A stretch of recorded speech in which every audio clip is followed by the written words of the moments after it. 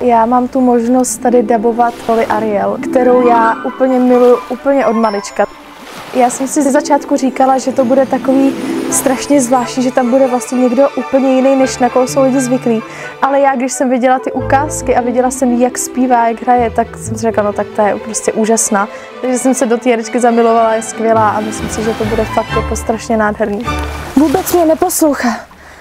Nejsem jako on vnímám věci úplně jinak. Jsem vlastně zvyklá třeba z muzikálu, jelikož hraju muzikálek, tak jsem zvyklá, že se třeba ten muzikál zkouší dva měsíce v kuse a tady reálně přijdete do studia, dostanete text a musíte hned jet vlastně i s emocema, takže jsem si fakt nakoukávala různý ty ukázky. Furt na to nemůžu kápnout. Má nohy, ty trubko. Znova jsem se podívala na malomorskou vílu, abych se dostala do těch pocitů té Arielky a abych to tady mohla dát prostě nějak jako na první dobrou. Já nechápu, proč by svět plný tak báječných krás měl být tak zlý.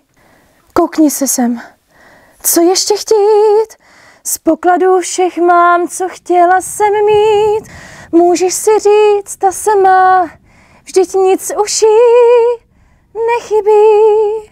Co se týče pěveckých partů, tak uh, na ty jsem se těšila asi úplně nejvíc, protože miluju tu její hlavní solovou písničku Part of Your World, kterou jsem zpěla úplně jako malička, mám někde ještě videa, takže na to jsem se strašně těšila.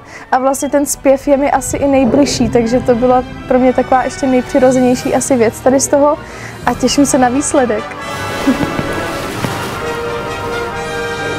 Malá mořská víla. Uvidíte pouze v kinech.